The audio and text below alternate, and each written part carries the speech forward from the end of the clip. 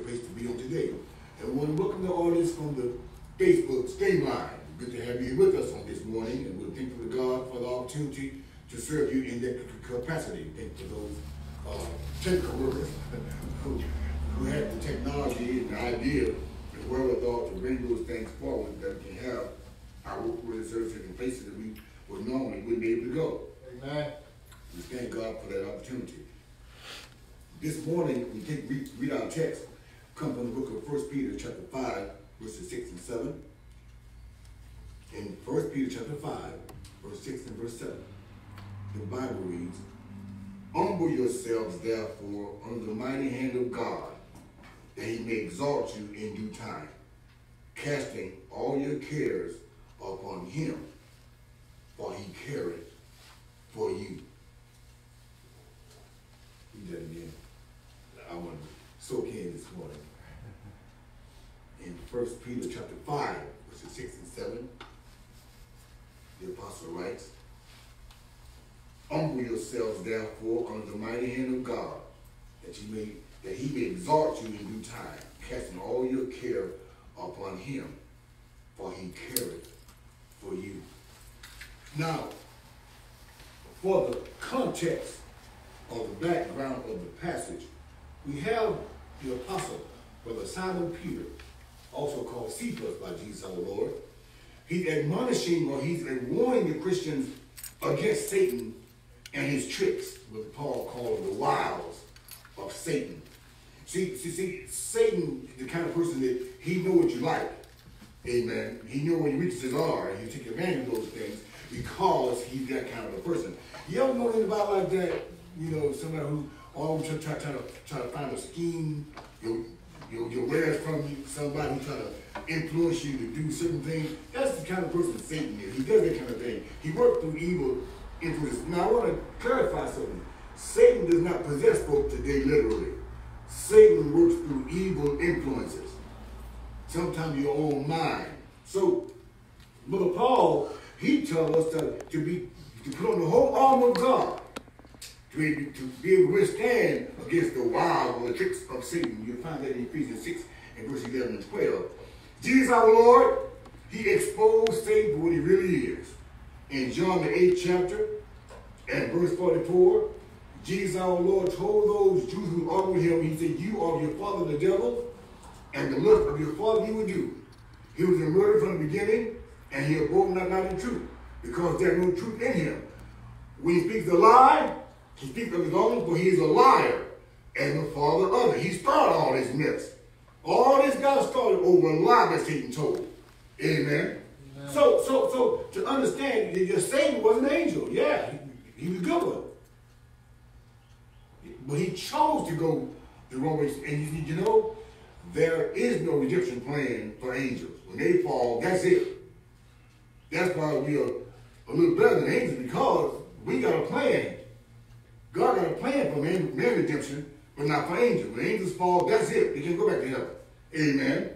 Amen. The Bible says that God, all that God did, created, in Genesis 131, he said everything was good. But Satan chose to be evil. And you know, same as men today. Men choose to do evil things.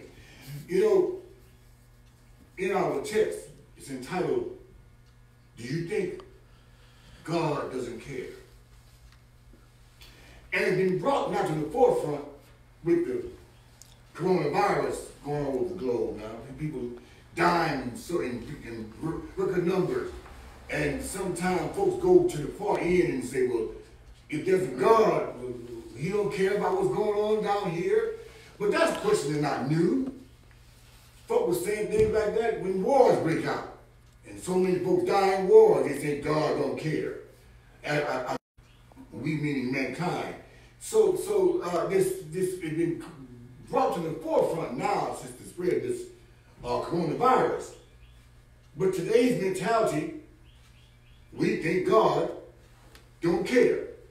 What happened is we we take so much time in our life focusing on our own little world, and we spend so much time trying to make a living that we lose sight on how to live. Amen. Amen. It goes on every day. And we think because God is silent, he don't care. Well, let's read the text. Let's go back to go to the Old Testament and read a little bit about that, about our first parents. In the third chapter of Genesis, and our first parents, Adam and Eve. In the third chapter of Genesis, we have the old story. The Bible reads, verse 1, Now the serpent was more subtle than any of the beasts of the field, which the Lord God had made. And he said unto the woman, Yea, hath God said, Ye shall not eat of every tree of the garden. And the woman said unto the serpent, We may eat of the fruit of the tree of the garden, but of the fruit of the tree which is in the midst of the garden, God hath said, Ye shall not eat of it, neither shall ye touch it, lest ye die. And the serpent said unto the woman, Ye shall not surely die.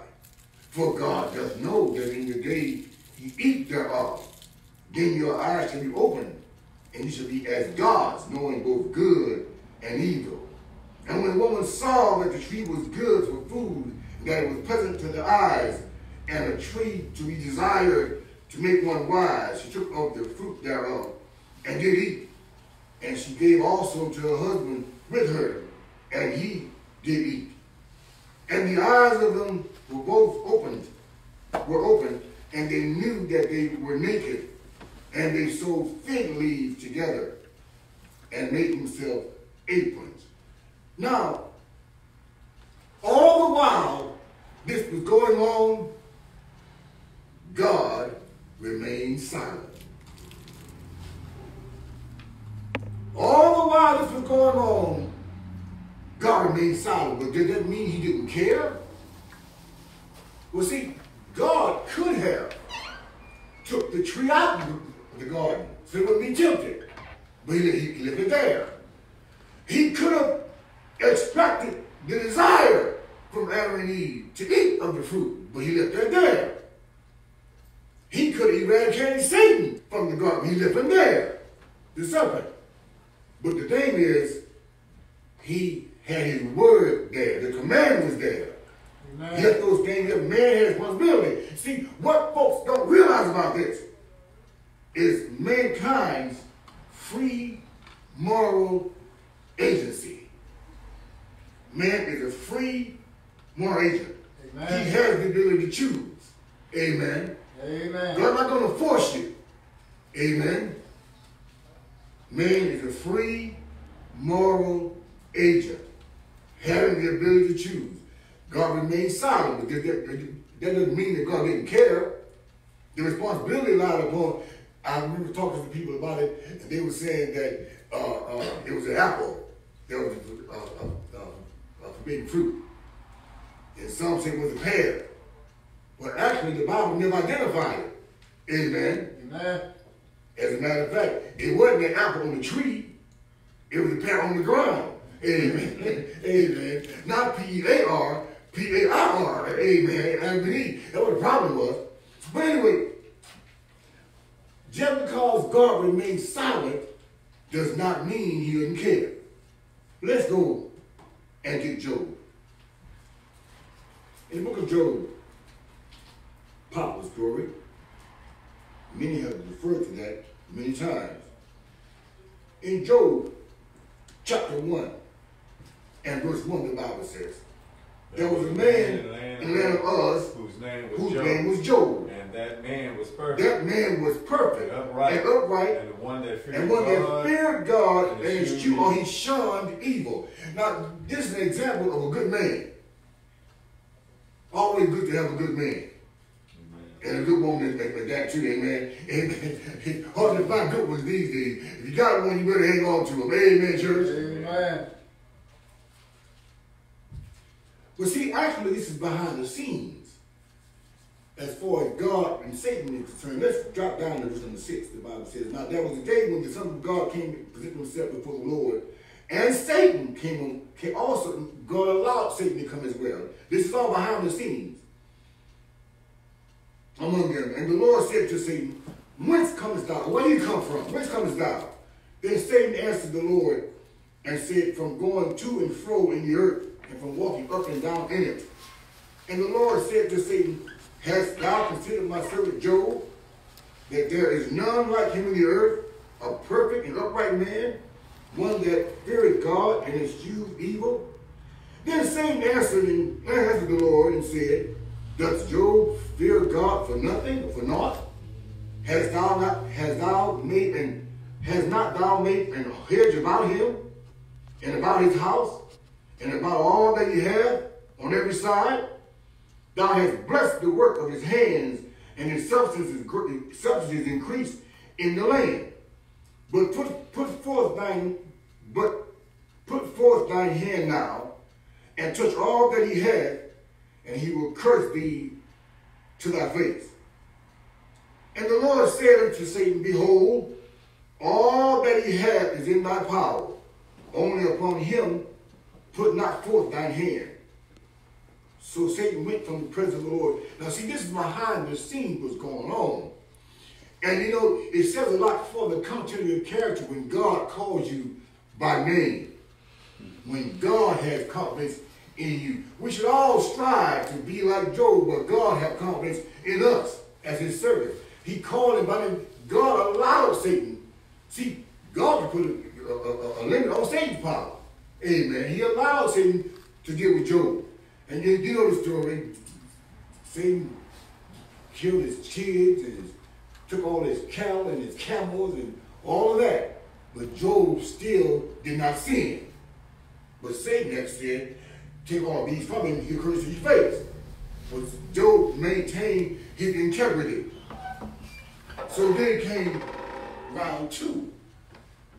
In Job chapter 2, and verse 50-10, the time say, he'll do the very same thing. He says, skin for skin, Satan said. This time, let me go a little further. Says he lost round one, so here's round two. Let me touch Job's own body. God said you can have that power, but just don't kill it. I'm paraphrasing here. And Satan struck Job with boils that's called epiphanitis. Boils from the top of his head to the sole of his feet. And yet, Job did not sin or curse God. And when all else fails, Satan is a big dece- he's a deceiver. When he talk about a womanizer, Satan is a womanizer. He will use women a lot, as men as well. But he's real good at using women. When all else had failed, he'll come miss Job. You still maintain your integrity. Why don't you curse God and die? Hmm. But you notice she didn't ask, why don't we curse God and die? Why don't you curse God and die? That he told you you sound like a foolish woman. And that is rather foolish to curse God and die. You're gonna curse God and turn and die and face it. Amen. There's like that guy, uh, Oscar Bonavena, years ago. He called Muhammad Ali a chicken and then climbed in the ring with it. And I really feel sorry for him. That man, my word. it's just certain things you just don't do. So, but behind the whole thing, all that's going on in Job's life, as far as Job himself and God talking to him, God remained silent while Job was going through all of that. He remained, but does that mean God didn't care? Too many of us have that same kind of mentality. God remained silent. Let's get Jesus our Lord. In the fourth chapter of Matthew, and verse 1 through 11. Let's, let's everybody turn there. We're going to read about this very same thing. In the fourth chapter of Matthew, and verse number 1, the Bible says what? Then was Jesus led Then was Jesus spirit led into the spirit to the wilderness wilderness, to be tempted the devil. of the devil. And when he had And fasted when he had forty fasted days and forty nights, 40 days and at 40 nights. Mm-hmm. And when the tempter When the came to him, he came said, If thou be the Son of God, command he that said- these stones be made bread. If thou be the Son of God. But he answered and said, hang on. Hang on. Let's slow it down here if thou be the Son of God. What does if imply? Doubt. Doubt. Uncertainty. Not that Christ doubted, but this is Satan. We are trying to attack him. I want to see if you got enough wherewithal to test me. If thou be the Son of God, command that these stones be made bread. And he answered and said, it is written, Man shall not live by bread alone, but by every word that proceeded out of the mouth of God. Verse 5 Then the devil taketh him up to the holy city, and set him on the pinnacle of the temple, and said unto him, If thou be the Son of God, cast thyself down, for it is written, He shall give his angels charge concerning thee, and in their hand they shall bear thee up. He said, he said, Anytime thou dash thy foot against a stone. Jesus said unto him, It is written, Thou shalt not tempt the Lord thy God. Again, round three now. The devil taketh him into an exceedingly high mountain and showed him all the kingdoms of the world and the glory of them. And he said to him, All these things I will give thee if thou wilt fall down and worship me. Then said Jesus unto him, Get thee hence, Satan, for it is written, Thou shalt worship the Lord thy God, and him only shalt thou serve. Then the devil leaveth him, and behold, angels came and ministered unto him. See what Satan does? He always come back for round two or a round three. But the way the, the, our Lord defeated Satan, it is written. It is written. It is amen, church. Amen. That's why he defeated Satan. But all the while that was going on, God in heaven remained silent. Does that mean he didn't care? Hmm. Many of us will have the same kind of mentality because bad things take place in life. We think God don't care. Yes, God cares. Of course he cares. In our text, good Son Peter tell us he cares for you. But let's find another case. In the 15th chapter of Matthew, we will start reading around verse 21. And let's see about the care that God has for all mankind, if he cares or not. The Syrophoenician woman. In Matthew 15 and verse 21, the Bible reads, And Jesus went in and departed to the coast of Tyre, Tyre and Sidon, uh-huh. And behold, a woman of a Canaan woman came. Of Canaan. Now see, Matthew called her a Canaanite woman. Mark tells you what kind of woman she was, a South Syrophoenician. Go ahead. A woman of Canaan came out of the, the same coast. The same coast. And them saying, saying, Have mercy on me. Have mercy on me, Lord. Son of David. Mm-hmm. My daughter is grievous vexed with the devil. My daughter is vexed with the devil. He said, go ahead. But he answered her not a word. He, His disciples. notice, he answered her not a word. He remained silent. Go ahead. And came to be silent Came and to said, disciples Send her away. and said, "Send her She cried away." after us. She do what? Cried after She's us. cried after us. But he answered and said, He answered and said, I am not sent but I am not sent but to the house of Israel. In, other words, I'm only sent. My mission first. My first priority is the lost sheep of Israel. This one was Gentile. Read on. Then came she and worshipped She came him Lord, and said. Lord, help me. But he answered and said, He answered and said, It is not me to take It's children's not good to take the what? to cast it to the dogs. To It take the bread from the children, To uh-huh. take the children's bread, Bread and cast it. it to the dogs. Now I'm glad this was an American woman. You gonna call me a dog? You can't do nothing for me. Tell me, like, you know, I'm glad it was an American woman. She took it really literally. Amen. Read on. And she said, True, She said, "True." Lord, yet the dogs Yet the dogs do eat the crumb their that falls from the. But now that, that's good enough. But the, the, uh, uh, the point was, he first gave the impression by remaining silent. Did that mean he didn't care? Hmm. It was the greater good he was going for because of the faith she had. She had more faith than some of his own people. Some Jews, he, she, she had, had more faith than they had. Amen. It was for the greater good, not that he didn't care. Amen. The greater good. You know, as we look at what's going on, the greater good, I have a challenge. I have a challenge for all the sickness and all the death and all the folks affected with the of coronavirus for the greater good. Where are all the faith healers? Now it's time to come out Amen. for the greater good. You know how many folk can be helped if you have the power you claim you have to Amen. lay hands on folk and heal them. This coronavirus being as deadly as it is, now it's time Amen. for the greater good. Amen, church. Amen. It bothers me when people are being deceived. There are some folk going to live deceived, they're going to die deceived, and when some folk on the last day yet being deceived. But now it's time for the greater good. Amen. Amen. See, God, for the greater good, in spite of what we go through in life, He won't let He won't allow us to be tempted above those things we can stand. God know how far you can go. But for the greater good, we endure these things. Let's go to 1 Corinthians. What Paul says in 1 Corinthians chapter 10 and verse 13.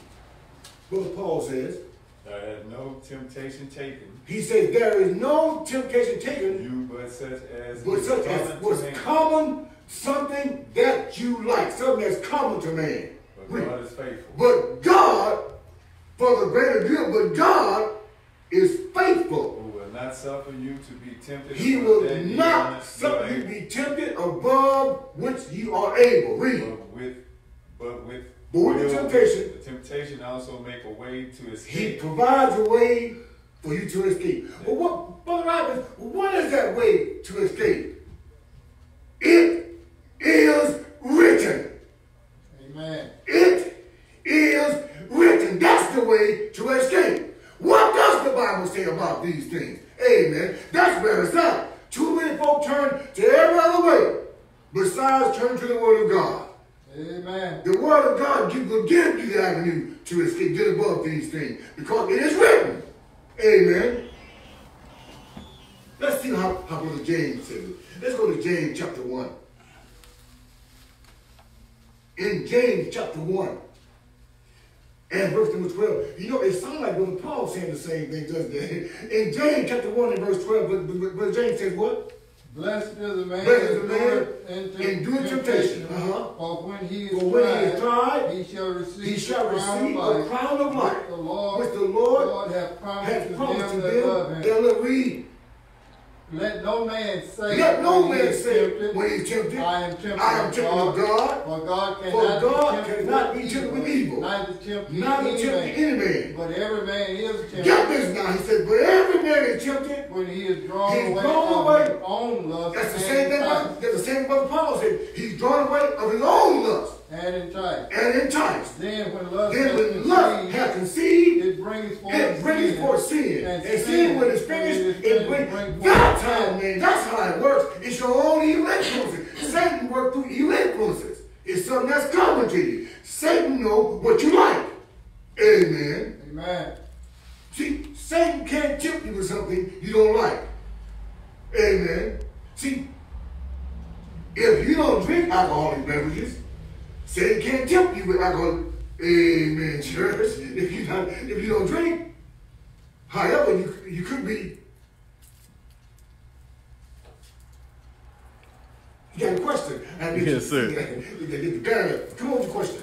Um, it says, who is James referring to? mankind. James referred to all mankind. Just like Adam, our, our first parents, that's the very same thing. Satan knows what you like. When he, when he, he, he noticed that Eve said so desire to, to, eat that tree, he enticed it for. And then for the question. I have some, I have one that was written in. I got a question here that came in. It says, what do the Bible say about a wedding? Do you have to do you have to have a big ceremony and a wedding ring? The Bible speaks of wedding all the time. But as far as having a wedding ceremony, you don't have to have that. When you read in the Bible, understand the way of life at the time, they always had wedding ceremonies. The Bible tells us in Hebrews 13 4 that marriage is honorable in all. Marriage is, is an honorable estate. Amen. In the church. Amen. Amen. Honorable. But we're talking here now about wedding ceremony. You can have a, a, a, a wedding without having a ceremony. Amen. Kind of hard to separate those. But as far as getting married, it's easy to get married, isn't it? Mm-hmm. You go to the courthouse if you want to, but there's no ceremony there. But you, it was a it was a celebration of life. One don't have, don't have to have a ring. The ring is just symbolic. Amen. Those are symbols of the marriage.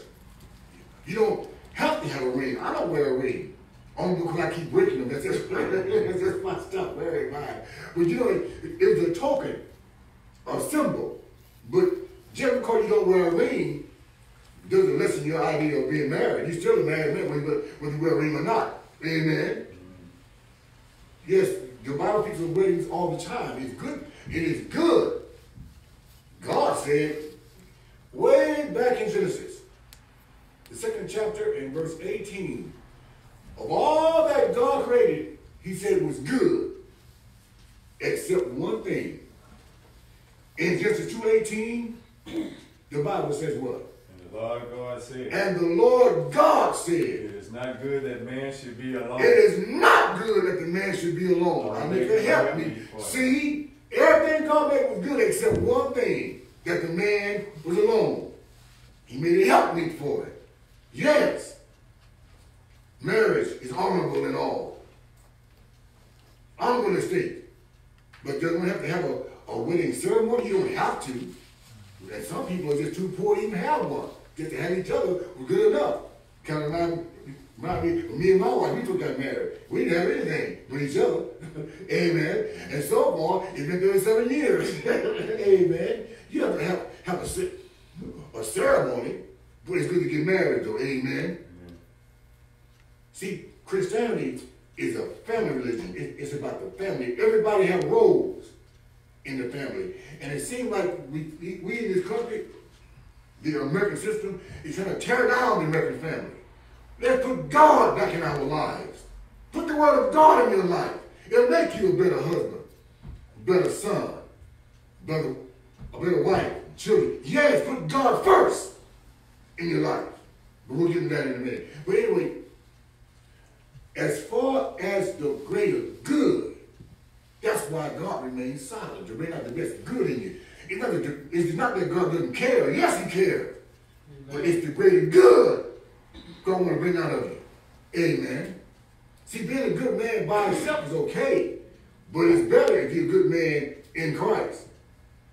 That bring out the greater good of mankind. Amen. Amen. Now, let's look at this greater good a little bit more. In Romans 6, Romans 6 and verse 16, Brother Paul says, Know ye not that to whom you use your servants to obey, his servants you honor whom you obey. He says, whether of sin unto death, or what? Obedience unto righteousness. He says, but God be thanked that you were the servant of sin, you have obeyed from the heart that form of doctrine which delivered you, being dead made free from sin, you became the servant. See, sin can only affect you when you yield to it. Amen. Don't yield to it. Amen. For the greater good of yourself, yield to righteousness, which is only found by way of the gospel. The Amen. greater good. Let's get this strong man now. In Matthew, the 12th chapter, look at verse 29. Because Jesus our Lord says something that's very important about how to deal with Satan. In Matthew 12th chapter and verse 29, the Bible says what? Or else Can one can one enter into a strong man's house and spoil and his goods? spoil his goods Except he first bind except the he strong first man. bind the strong man. Then he was And then he'll, he'll, he'll do what? spoil his house. Spoil his house. Now, what does that mean, Brother Robins? He's talking about Satan. He's talking about himself coming down to Satan's domain, Satan's house. Satan is that strong man. Let- Let's, let's just find the full, minute of it. Go to Revelation.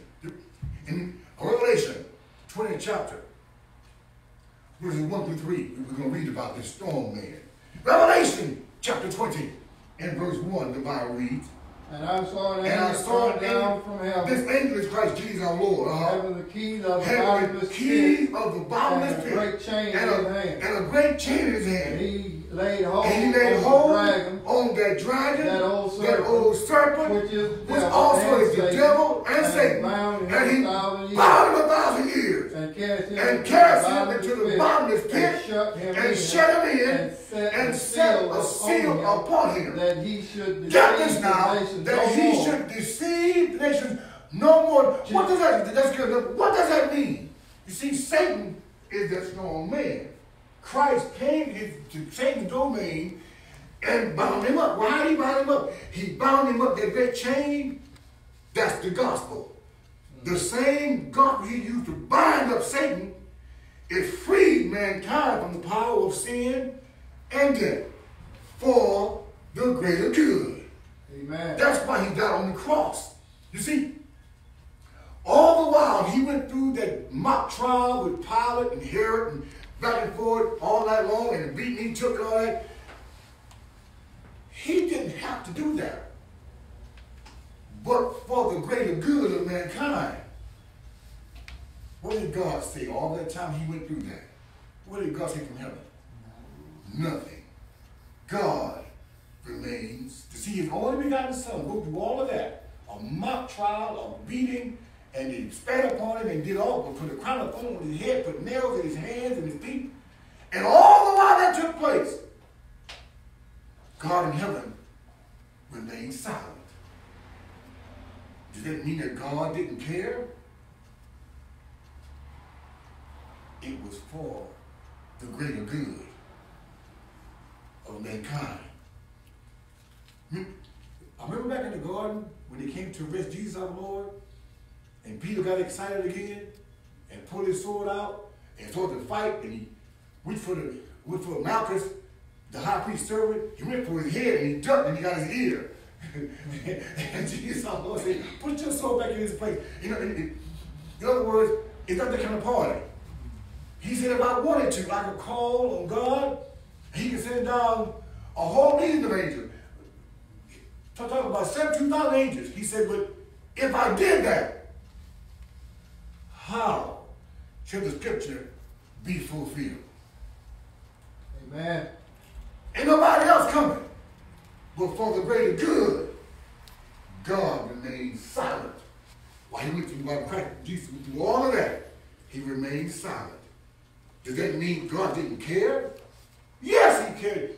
Peter, Peter the apostle, he tell us that Satan, he's like a he's still like a roaring lion, going to and fro in the earth, trying to seek those whom he shall devour. But does that mean just because Satan roams around to destroy people, does that mean that God don't care? No, it doesn't mean that. For the greater good, he has a word here. Amen. That's that logos. The word. God is so powerful just by saying the word. That's Christ Jesus. In the beginning, here there was him, Jesus our Lord, in another form, in the form of the word, the spoken word. Now we have the word in written form.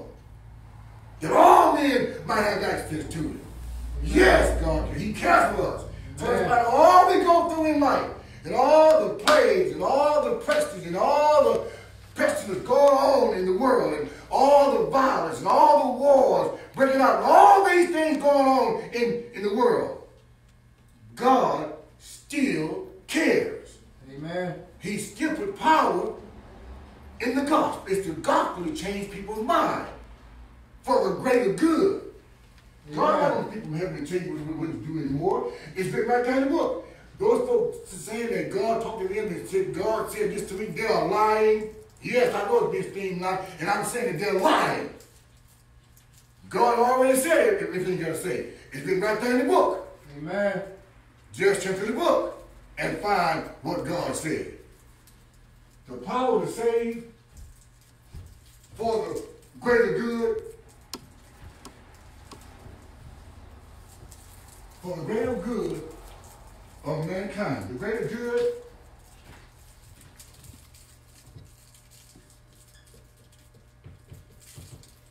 the gospel. The gospel's intent is to change man's way of thinking, yielding to the power of God. What's the gospel? Death, the burial, and the resurrection of Christ are according to the scripture. Just hear the gospel. Believe what you have heard. Repent of one's sins, confess Christ before men, and be baptized in water mixed with sin, and the Lord will then add you to his church.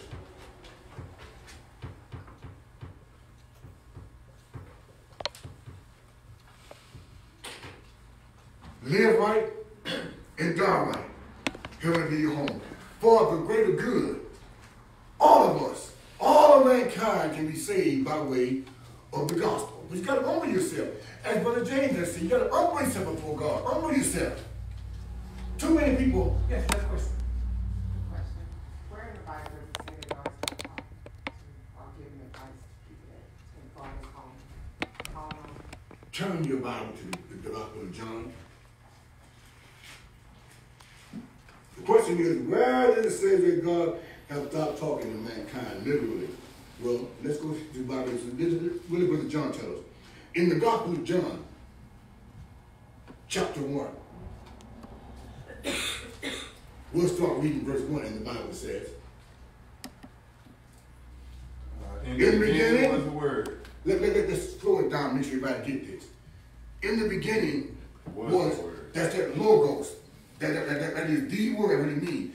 In the beginning was the word. And the word was, and the word was with God. And the word, and the word was, was God. The same was, was in the beginning with, with God. Uh -huh. All things All were made, things by, made him, by him. And without, him, not anything made that was made. Uh -huh. In him was in life. Him was life. And life and was light of uh, light men. men. Uh -huh. And the light and the light in darkness, the darkness. And the darkness comprehended now, now, we now, we got that part right.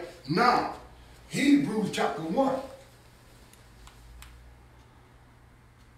I don't The to Johnson first and bring up to Houston. All right, and now in Hebrew chapter 1 and verse 1, the Bible says what? God, God in sundry times. I mean, God in different segments of time. And God, who in sundry time and God divers made spake in time past to the fall of body Christ, had, it is now, had in these last days spoken unto us by his, that's how God speaks, through Christ Jesus, he spoke to the Holy Spirit to the apostles, and they wrote the word down. That's how God speaks now. Amen. And I dare, I dare everybody to challenge it. Come, come on out, and we'll deal with it. God speaks now through His Word. Amen. Amen. Those folk go on saying that God talking to them, they are lying. Yes, they're lying. God speaks through His Word. Amen. Amen. And God not going to take you any other way except by way of the gospel. One size fits all. Folks talking about God saved them in the tree uh, when they were under the tree at night. And God saved them while they slept. When they are lying. God, God is no respecter of persons. He saved everybody the same way by way of the gospel. Amen. Amen. That's the one plan for all mankind. What's the gospel? The death, the burial, and the resurrection of Christ according to the scriptures. Man must hear the gospel, believe what he has heard, repent of one's sin, confess back for me, and be baptized in water, with sin, and the Lord then adds you to his church. That's the plan for all mankind. I don't care if you're in Timbuktu, I don't care if you're in Brookshire, or in Africa, or, or, or, or Herzegovina, or anywhere on the planet. The gospel is meant to save the soul of mankind. If you hear me to come, we bid you to come right now, and we all to the sea. God, What call me to come. Wash away my sins.